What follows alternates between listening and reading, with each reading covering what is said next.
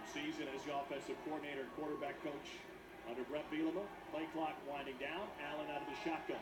Pressure coming again. Pocket collapses as he's hit from behind and he's picked off by Terry Jefferson, who has been all over the field for FAMU here early in this game.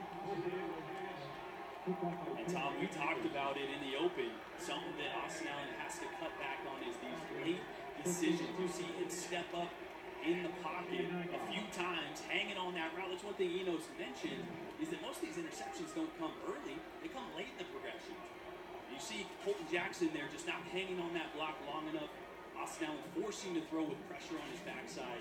Something we got to clean up. My quarterback coach Tom always told me, don't make a bad play.